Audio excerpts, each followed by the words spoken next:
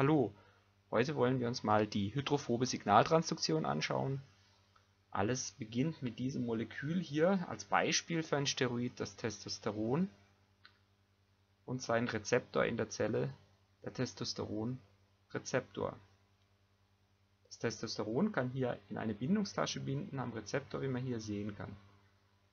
Aufgrund der hydrophoben Natur vom Testosteronmolekül kann es über die Zellmembran diffundieren und dort an den Testosteronrezeptor binden,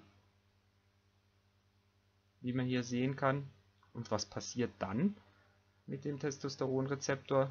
Ohne Steroid wurde der Rezeptor von Chaperonen gehalten, HSP90, wie man hier sieht. Sobald das Steroid dran gebunden hat, kann der Rezeptor mit dem Steroid abdiffundieren und als spezifischer Transkriptionsfaktor Gene einschalten. Vielen Dank.